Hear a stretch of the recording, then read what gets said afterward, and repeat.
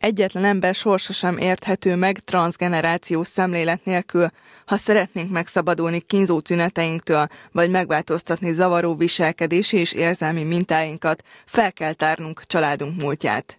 Így szól orvos Tóth Noémi Örökölt Sors című könyvének összefoglalója. Ezt a közel 300 oldalas pszichológiai könyvet vették le a boltok polcairól a legtöbbet az olvasók 2020-ban, derül ki a vg.hu és a Libri Bookline cégcsoport éves összesítéséből.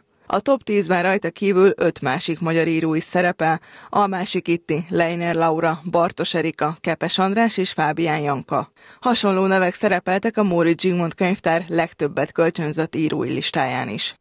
Az első néhány írót sorolnám. Nárai Tamás Zala trilógiája mindenképpen a top 10-be benne van, illetve Edith Eva Eger, a Döntés című memoárja, Orvos Tóth Noémi Örökölt Sors című kötete, Fábián Janka, Könyváruslány, Lucinda Riley, Hét nővér, egy családregény sorozat, Grecsó Krisztián Verája, nagyon szeretik a olvasók a történelmi szépirodalmi mű, Belinda Alexandra könyveit, Erkelényi Angelika, Bécakó Andrea, Bán Mór könyveit, illetve a krimiket, Réti László, Kondor Vilmos, Charlotte Link, John Grisham könyveit és a legújabb skandináv krimiket kölcsönzik. Nagyon kedvelt Joe Nesbo norvég író könyvei, és hát a gyerekkönyvírókat is meg kell említeni. Mindenképpen a top 10-ben van Leiner Laura, Bartos Erika, Anthony Horowitz, Berg Judit, Bosnyák Viktória, Jeff Kinney, Daniel András, Lackfi János és Csukás István könyvei.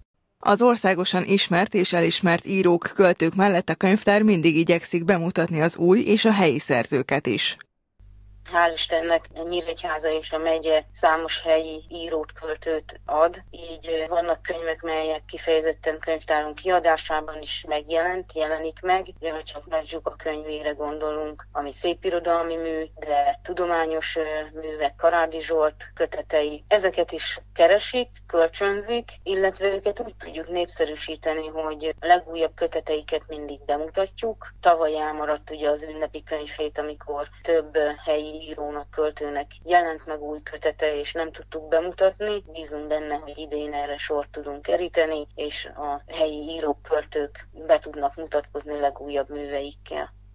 A könyvtár szolgáltatásai jelenleg korlátozottan állnak rendelkezésre.